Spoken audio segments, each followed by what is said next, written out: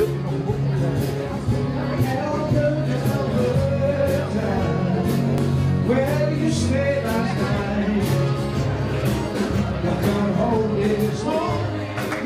welkom allemaal. Dit is eh, de eerste avond van een heel weekend eh, evenement rondom Castricum 1967.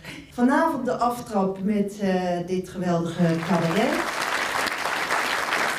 Staan we hier aan te wachten? Ja, Moeten jullie hier naar binnen?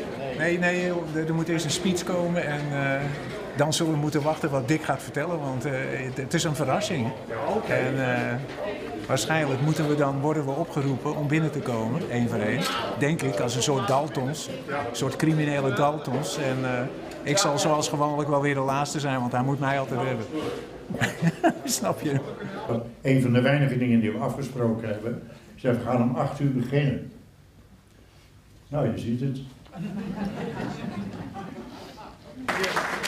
moet even uitleggen. We krijgen een rondje van shampoo. Dus daarom... Een rondje van Een Jean. rondje van shampoo. Nou, dat lijkt me stuk. Ja, dat- Oh ja, oh, je, Jean denkt, ik heb een klein koppeltje, ik geef een rondje. Gitarist, zanger, arrangeur. Geen geld bij me. Ja, geen geld bij je. Wat heb je toen gedaan zo? Op jouw rekening gezet. Lekker hè? Nou, dat begint leuk vanavond jongens. Eh, de- deze dames, het zijn eh, echte zusjes van elkaar. Het zijn de Luther Sisters. Ze komen uit de School Street. Hey, goed, we gaan, eh, we gaan beginnen. Wat wordt het voor een avond? Ach, het wordt een avond gewoon een beetje een nostalgische avond. We kijken terug op 50 jaar natuurlijk. Dus we gaan vaak terug naar die vijf- 50 jaar geleden. En eh, we beginnen met het liedje Ons Dorp. Hoe was het in die tijd van toen? De tijd van eenvoud en fatsoen in ons dorpje aan de kust. Er was op maandag aan de lijn en om het uur komt er een trein. Op zondag heerst de rust.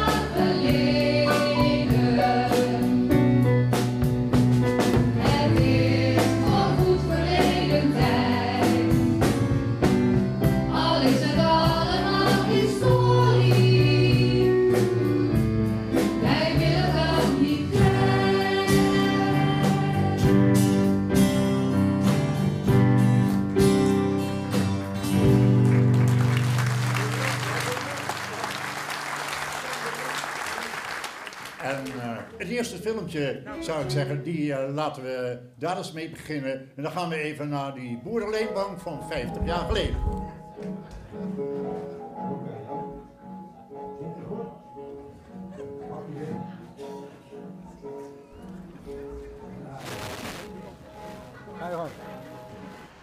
IJsbrand, hoe was het in 1967 in de bank? Hoe ging het toen? Ik, aardigheid. Toen ik directeur was, zei mijn vader: Ik zal nu jou opleiden. en ik was blij dat ik eigenlijk mijn eigen gang kon gaan.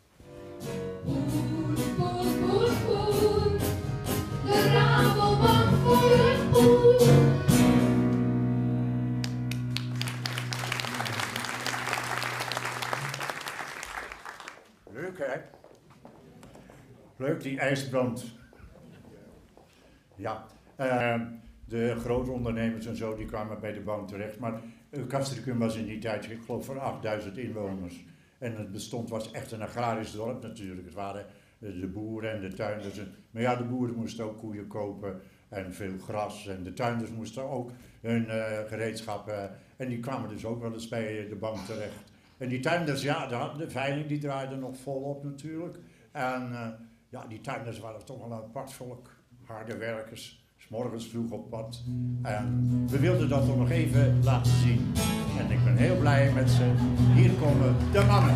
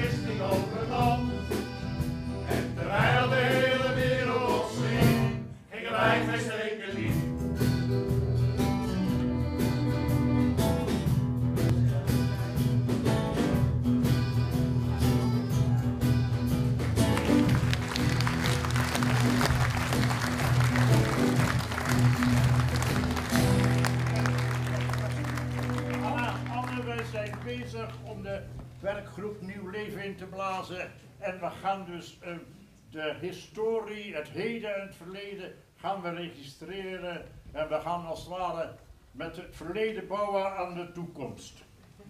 Oké. Hier. En eh, wat willen ze dan dat jij daar wordt?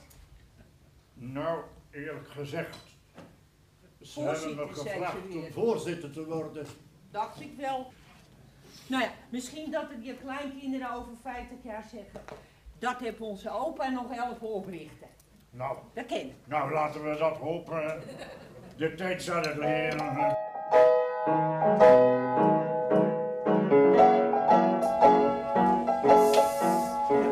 Goedemiddag. Hey Jan, goedemiddag jongen.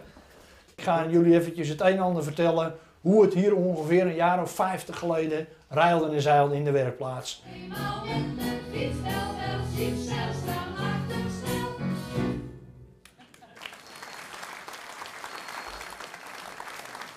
Onze grootmoeder was natuurlijk groot gezag in uh, Castricum in die tijd. Je nam je hoed af voor eh, de burgemeester en de pastoor en de notaris. En eh, je vader, die was de baas thuis. Zo, ging dat natuurlijk toch wel. En eh, zo ging het ook in het uh, kruideniersbestaan. En we hebben hier iemand, hebben we, en dat is de oudste dokter van de kruidenier. Als ik morgens wakker word, naast het bed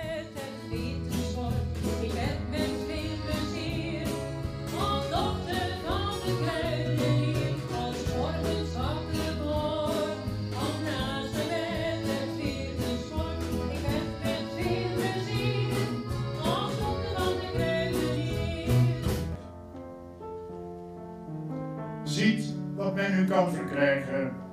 Twintig soorten op een rij. Rijk verguld met gouden granen, gelijk een glanzend schilderij. De winkeldeur ging eertijds open. En dan, misschien weet u dat ook nog wel, luidde er met heldere tonen zo'n gemoedelijke bel. En als die was uitgeklept, dan kwam de bakker in persoon. Met zijn meel bestoven sloofje. Alleen op maandag was het schoon. En het liefst eet ik alisonbrood. Waarom? Dat wordt echt nog met een natte hand opgeslagen. Natte, hè? Niet door die machine, nee, met de hand. Nat, natte handen. Hup, een broodje in elkaar. Hup, hup, zo in de pan. En dat is dit, ik vind dat, dat toch weer een heel aparte smaak. Hey, hey, word wakker, hier is de bakker. Hey, hey, word wakker, hier is de bakker. Hey, hey. En dan had, je had een bar, klein bakkerijtje, die woonde aan het eind van Derp. Zijn we daar puur uit vandaan. Dan had hij een klein winkeltje en hij bakte die brood en eh, heel gewoon brood. Bruin, wit en bruin. Dat is niet. Nou, de klanten die zeiden wel, het bakker, bakker. Want hij nog een kleine sortering. Nou, zei, dat valt wel mee. Hij zei bruin en wit en heel en half is. En zondag heb ik nog kadette. En zaterdag heb ik ook nog wel eens krentenbollen. Nou, je nog meer. Dus hij hield het gewoon eenvoudig, maar eenvoudig. Maar het was wel een man, hij was mooi, hij hield van de tijd. Het brood kreeg ook de tijd. En hij was zelf ook altijd op tijd. En, en, en hij zei ook nog tegen, Afri, als het erg koud is, moet je even zelf bij. Dat is een verzinsel hoor. De dames uit Rotterdam die komen weer met een geweldige metrie. Ontvang ze met een leuk applaus, want ze komen ook heel leuk op.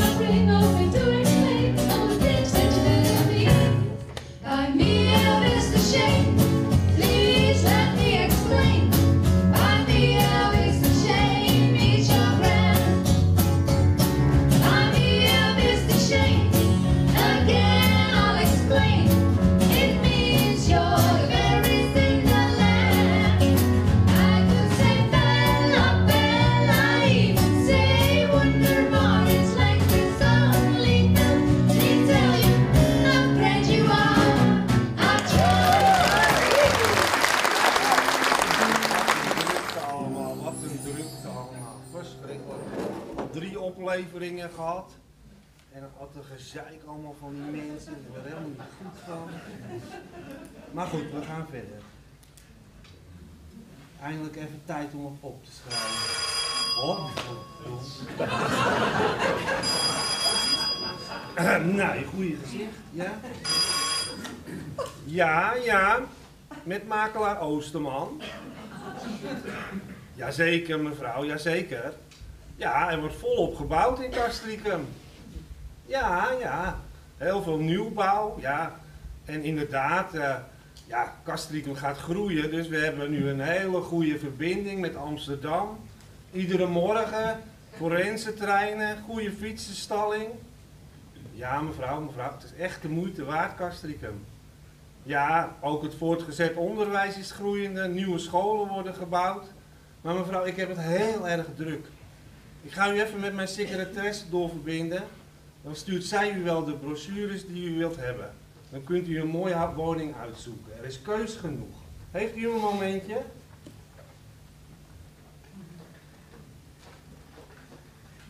Ja, Jannie, ik heb er weer een aan de telefoon. kan je er even eh, overnemen en dan kan je haar een brochure sturen. Wel netjes blijven, hè? Oké. Er lopen twee zwervers op de weg en dan komt de politie aan en die houdt ze teugen. En die zei tegen die ene zwerver, wie ben jij? Nergens, zei die zwerver. Politie vraagt aan die aarde zwerver, en wie ben jij? Ik ben zijn buurman.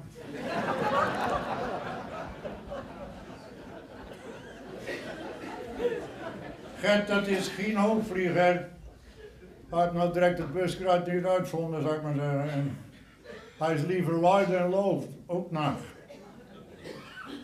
Ja, hij is er iemand waar in Zuid wordt. Hij bidt alle dagen om werk, maar hij dankt God dat hij het niet krijgt.